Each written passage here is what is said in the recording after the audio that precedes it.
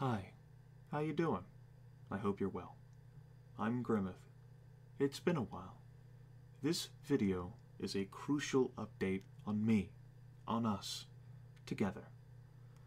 Along the way, I'll present exclusive looks at what's been happening behind the scenes. If that entices you, stick around. If not, take care. Before I get started, warning.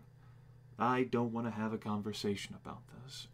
Yes, I'm here for viewer interactivity. This update is an exception. Actually, the past several months have been an exception.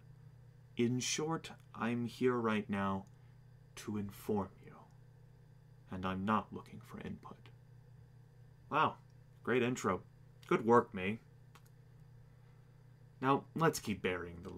Let's talk about YouTube partnerships. Do you have an educated opinion? I have an educated opinion. I've been getting recruitment drivel for years. Join now for big money, big prizes, best deals ever, highest rates, amazing access to intelligent people will promote the tits off you. Don't be a fool. Join now. I still catalog these. They're often copy pasta absurdity, hype machines in email form. How could I be a fool for missing out on these opportunities? well, actually, in September 2014, I met someone who didn't treat me that way. Claw Digital. It was a subgroup of the Freedom Network. They contacted me, and I had good conversations with Will, the head of Claw Digital. He never insulted my intelligence, and he readily addressed my concerns. Yeah, I know, what a concept. So let's zero in on past Grimith here. He had better cognitive abilities than I do right now. He was well informed. What were his concerns? First, past Grimith wanted to feel like he was in control of his YouTube channel. It was his hobby, not his profession, and he had no desire to treat it different. He didn't want to be told what games to play, or what banners to display, or whether he needed to shill a corporation, or whether he needed to give every video an intro and outro. He didn't want to be locked into something he'd regret. Second, Past Grimith was concerned about being alone on YouTube. He had heard horror stories about YouTube cracking down on people by mistake. He wanted support from a group in case he ever got a copyright or personal conduct strike on his account. Third, Past Grimith had considerable feedback from viewers, like you, who wanted a way to support him.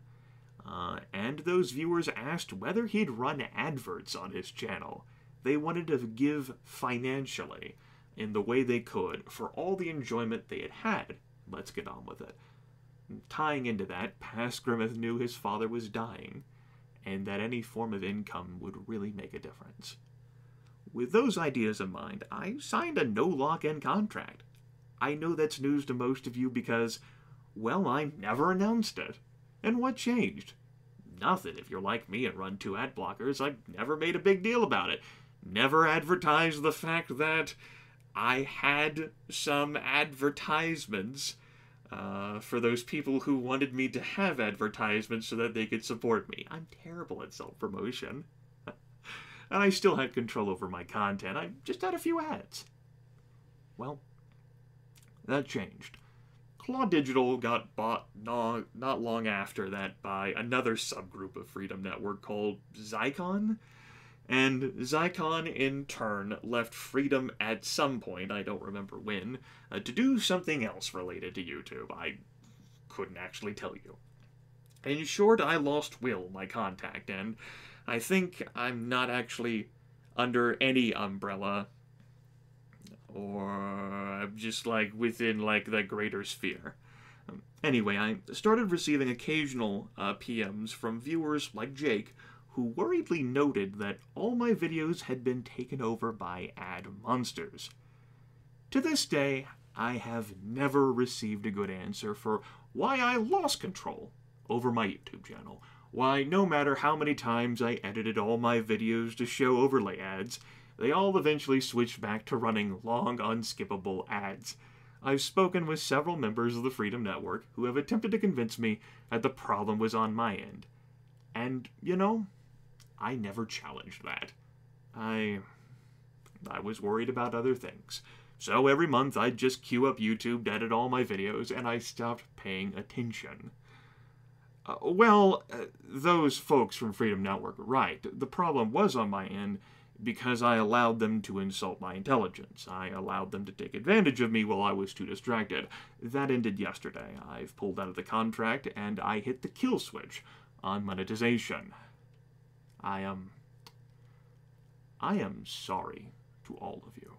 I can't fathom how many people there were whose sole exposure to me was a video with that grossness on it. Fuck this guy. Why should I watch him? He insults my time. Because not everyone is in a situation where they can run convenient ad blockers, you know? You might be on someone else's computer, like at a workplace. anyway, I, I get that sentiment. I I judged people on YouTube partly by turning off my ad blockers and seeing what popped up. Um, nowadays, I'm not so quick to judge. How about that? Yay, me. Our next topic is Hitbox, or as some of you call it, beta, and shitbox, and other pejoratives. And I get why. Hitbox has a slew of problems, but I've tolerated them for the same reason I moved to Hitbox in the first place quality interaction, minimal chat delay. We can almost hold a conversation when we're on Hitbox.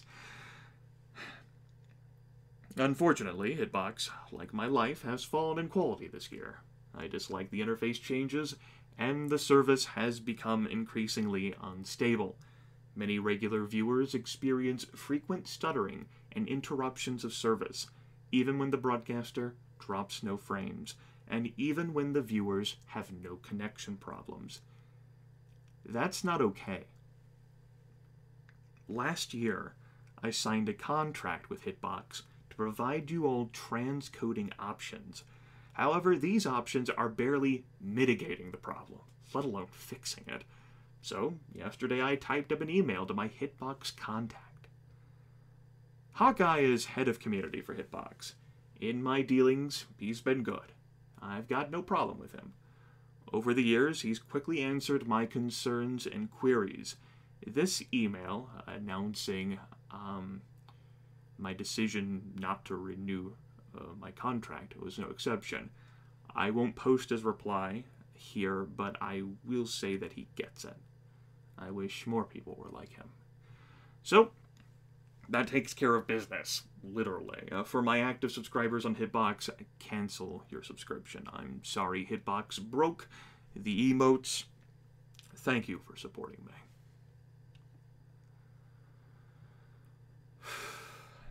I guess I've delayed this long enough. I want to talk about our future together, but I can't do that without telling you how I feel right now. I am unwell. I have awful composure. I still haven't reconciled my feelings. I am so angry and bitter. I am a howling whirlwind of rage and grief.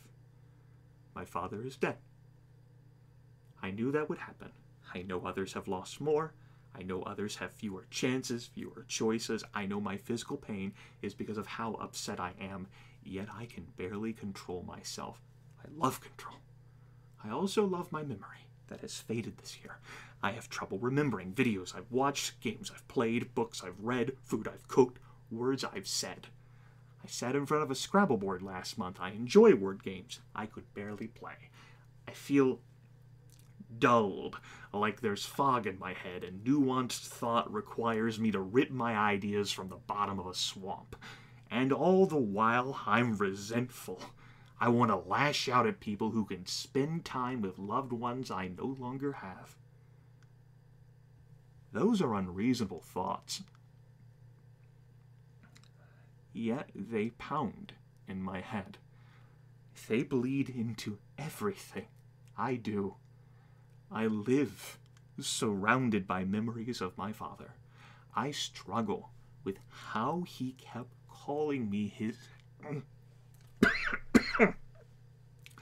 with how he kept calling me his hero, even at the end. I want to grab his urn and shake it. Why won't the pieces fit? Why can't I will myself to be functional again? I enjoy video games less.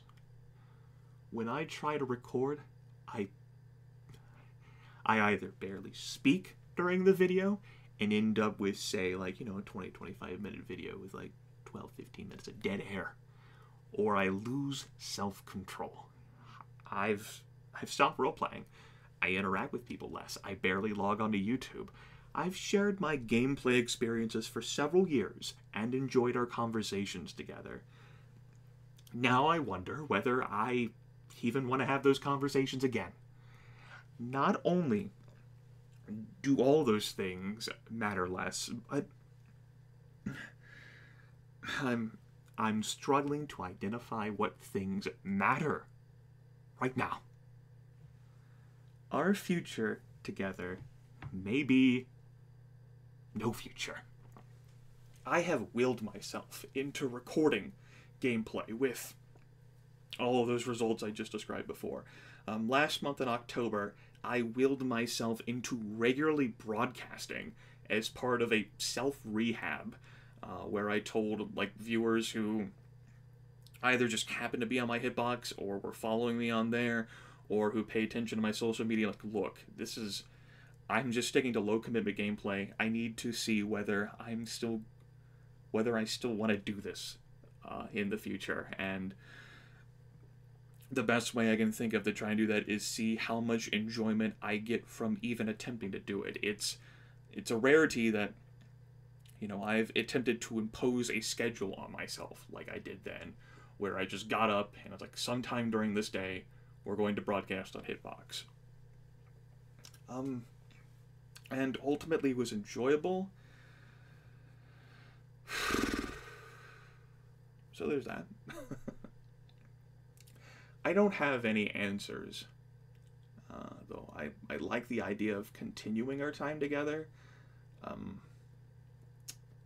but uh, if I can't, uh, then I will be sending refunds for the unfulfilled rewarding the rewarders requests for folks like Tiny Shopkeeper, Dolwyn, and Trussick, and several others. Uh, whenever I opened up that opportunity uh, back in 2013, you know, I made clear I don't know how long it will take to fill, um, but I will get around to doing it. Um, and at this point, uh, if I can't do it, then all that money goes back. And pretty much won't hear from me here again. Earlier this year, I said, uh, however, that I wanted to complete those remaining requests before fall started. But earlier this year, I also thought my father would live till Christmas. It just so happens that uh, doctors uh, had a bit of an overestimation there. In short, I don't know what happens now. I will likely try more live broadcasts in upcoming weeks on Hitbox or anywhere else. I will not make announcement videos for those, or at least I don't think I will. Beyond that, I'll um see whether I can reconcile my feelings. Whether I can enjoy sharing gameplay experiences with others, like I once did. Or um whether there's nothing left for me. um, on a uh, on a final note, uh, this has been finalized. Uh, I will be going on a trip in December. Uh, while I still have the uh, the means and the motivation to do so, I'm uh, looking to see friends, and one of them is Lethal Feline. And so I've uh, bought myself some plane tickets, and I'll be uh, traveling there to visit him I, from December 1st to, I believe it is December 11th. So uh, if nothing else ends up popping up here, then uh, keep an eye on uh, Lethal, on his uh, Hitbox stuff, on his Twitter stuff, because we'll probably end up doing something together. Anyway, that's the end of the show here, folks. I uh, tried to keep this concise and not ramble uh, out of a out of me valuing your time. Um, take care. Goodbye.